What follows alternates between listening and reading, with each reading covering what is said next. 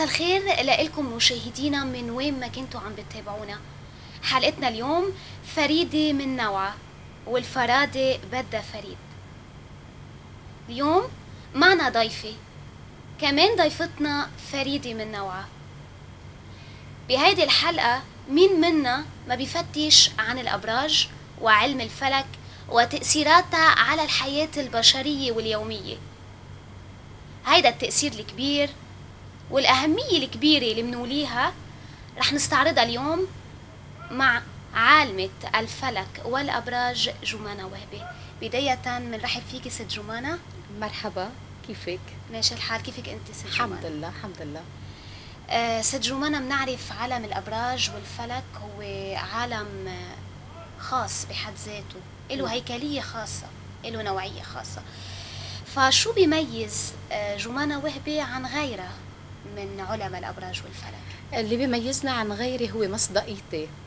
مصداقيتي مع الناس مصداقيتي بتوقعاتي مصداقيتي بقراءتي للأبراج وبتحديد النشرة الفلكية تبعية الأبراج اللي بتعطيكي فعلا يلي بيبقى ناطر جمانة وهبي لتقرأ الأبراج فعلا بتقول عم بيقول مزبوط اللي عم بتقوله صح. فهيدا اللي ميزني عن غيري وخلاني يكون number 1 بالعالم العربي وأعلى نسبة مشاهدة بجيبها هل جمانة وهبي راضية عن ال rating اللي عم بتجيبها مبدئيا؟ آه، طب آه، تقريبيا إيه وبعد طموحي اني اكون آه، بعد جيب أعلى وأعلى هلأ ما في حدا بينافسني لأنه ال number 1 يعني كله بيجي بعدي بال بال ratings بعبر الشاشات آه، والفضائيات ولكن اي كل العلم آه، ما له نهاية كل ما استزدت من العلم كل صح. ما رضيتي أكبر عدد من المشاهدين أكثر آه، جمانة وهبي شو جديدك؟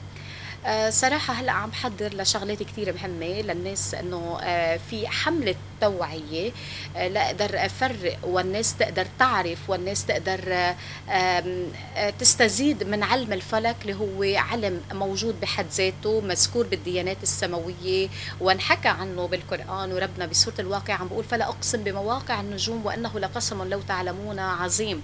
بدي أحكي عن هيدا العلم اللي هو فعلا موجود. وأقدر كمان إنه خلي الناس يكون عندها نوع من الوعي العالي لتقدر تفرق الفلك عن التنجيم. لأنه كذب المنجمون ولو, صدقوا صدقوا. ولكن نحن عم نحكي فلك وفي فرق كتير كبير بين الفلك وبين التنجيم. التنجيم اللي بيعتمد على الاستعزامات بيعتمد على الطلاسم بيعتمد على تحضير جن وبيعتمد على الخزعبلات يلي هي ما لها أساس. وبنفس الوقت انها منا منا مزبوطه يعني. تأذي أكثر ما بتفيد وما بتفيد ابدا. إذا علم الفلك هو علم قائم بحد ذاته مية بيعتمد بالمية. على علم. صحيح. آه، ست جمانة إذا بدنا دايما آه، علماء الأبراج والفلك بيتعرضوا لانتقادات كتيرة خصوصا بالساحة الإعلامية. موجود موجود هيدا الشيء والانتقاد موجود وين ما كان فمش غلط إنه حدا ينتقدنا. إذا كان بيفهم بالفلك ولكن الصحافة والإعلام عم تنتقد الدخلاء على علم الفلك. فكمان معهم من حق هم يعني. الدخلاء على علم في كتير الفلك؟ في كتير مدعيين بيقروا آه، بيحفظوا لهم كم كلمة وبيطلعوا بيقولوا علماء فلك وهن ابدا. يعني اساليه آه، أورانوس وين ما بيعرف اساليه قد إيه آه، نسبة تحركه على أي درجة ممكن يستفيد منه. الشمس بأي منزلة آه، بأي منزلة من الأبراج القمر بأي منزلة قمرية ما حدا بيعرف. إذا الفترة اللي موجودة عندك هي فترة مكتسبتيها بالعلم. أكيد مية بالمية لأنه بده يكون الواحد عنده شيء ما بينجح إلا اللي حابب شغلته وبنفس الوقت بده كمان يتوجها بالعلم. لازم هيدي يكون الطاقة دايما بيقولوا إنه علماء الأبراج والفلك مفروض يكون في عندهم طاقة فطرية قبل ما تكون شيء خلاق قبل ما يكون موجود على ما هي شو. هي الطاقة؟ الطاقة إنه أشياء إيجابية بتشعري فيها. هالأشياء الإيجابية اللي بتشعري فيها هي اللي بت- بتكون عندك الحافز للنجاح وبنفس الوقت أنا مش بس إنه عالمه فلك أنا كمان عندي ماستر بعلم الفلك والطاقة. يعني كمان درستها ودرستها ب workshop إن كان ب Far East أو حتى درستها ببلاد أجنبية ومعي شهادات فيها وبدرس فيها وبعمل جلسات اليوغا وال meditation. وبنفس الوقت حتى المتلقي لعلاج الطاقة مش حقول له مريض حقول متلقي لعلاج الطاقة عندي. شو ما كان عم بيعاني؟ إن كان عم بيعاني من stress إن كان عم بيعاني من ضغوطات نفسية إن كان عم بيعاني من اكتئاب إن كان عم بيعاني من قلق. وهلأ مرض العصر هو الاكتئاب. صح. فعم بقدر أسحب هالطاقات السلبية السلبية اللي عم بتولد عنده لهالمتلقي للطاقة. بعض الإشارات اللي عم بتخليه إنه مكتئب عم بتخليه آه، متضايق معصب ما في شيء عم يبسطه بالحياة عم بسحب هالطاقات السلبية وبستبدلها بطاقات إيجابية عبر جلسات وتمارين خاصة وأكيد بعتمد فيها على موضوع الشهيق والزفير بالإضافة كمان للأفكار اللي بعطيها للمتلقي ليقدر يحسن من وضعه. قدرت جمانة وهبة أنه آه، تشفي أمراض أو مرضى من هذه القصص؟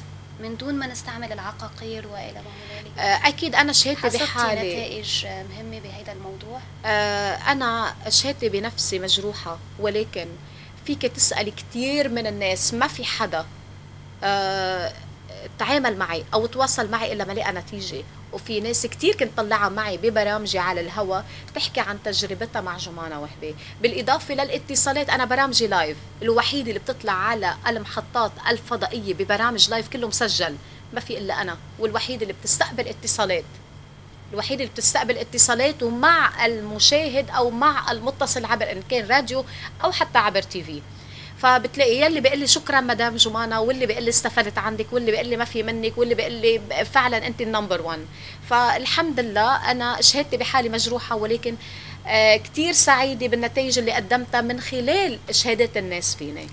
طب دايما آه، الانتقادات اللي بتتوجه لكم من قبل الناس لأي عالم فلك لأي عالم أبراج. يمكن. هيدي الانتقادات إلا ما تترك ثغرات عند الشخص فهل بتحاول جمانة وهبي؟ شو هي الثغرات اللي بتحاول تقومها؟ اللي بتحس إنه في شيء خلل أنا بدي ضبطه بشغلي. آه الحمد لله الحمد لله لحد هلأ ما قدرت إنه آه, آه، يوصلني أو حتى ما لقيت إنه وصلني انتقادات سلبية. ابدا.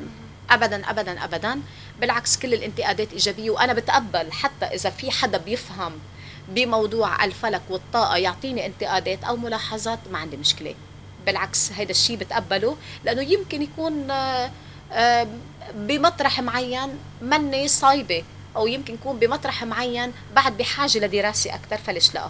درجة الإقبال اللي عم تلاقيها من الناس آه، محصورة بلبنان ولا أكثر بالعالم العربي؟ بالعكس أنا درجة الإقبال عندي معروفة أكثر و يعني الإقبال علي من الوطن العربي ومن أمريكا من كندا من أوروبا آه، وحتى اللبنان اللي برا. هلأ بلبنان نظرا لأنه آه، يمكن برامجي شوي غالي على اللبناني.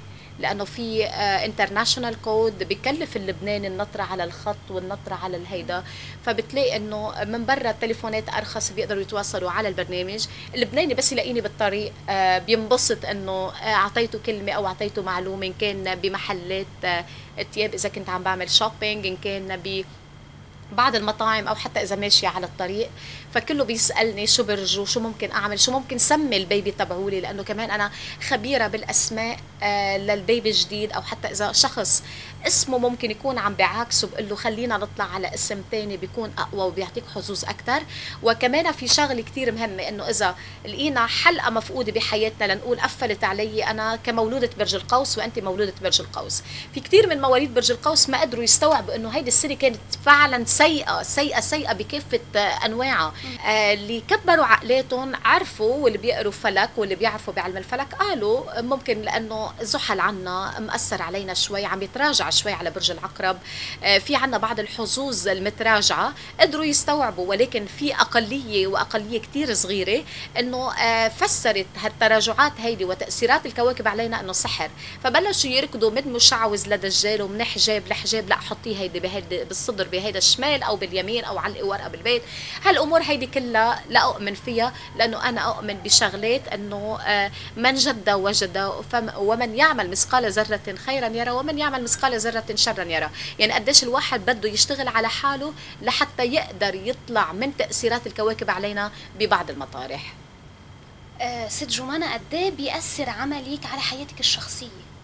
فاصله بين حياتي الشخصية وبين آه، عملي. بين عملي آه، في أوقات محددة يعني أنا دائما في مواعيد بيني وبين زبوناتي وفي permission time بيحترموا هو هال permission time وقتها بدي أعمل الجلسات حتى عن بعد لأنه في ساعة فلكية لمتلقي لعلاج الطاقة بقول له بهذا الوقت حتى لو كان هو بأمريكا أنا قادرة أوصل له هالذبذبات وهال ال frequencies تبعوا الطاقه هو ببلد تاني بده يحس فيها وبده يشعر فيها لأنه في لها تمارين خاصة وفي لها سلوكيات خاصة. فماشي على جدول وهيدا الجدول أكيد بخليني أنه ألتزم بساعات العمل تبعولي بعيد عن الخلط عن حياتي الشخصية وخصوصا أنه عندي twins ال twins هدول أنه بياخذوا من وقتك شوي.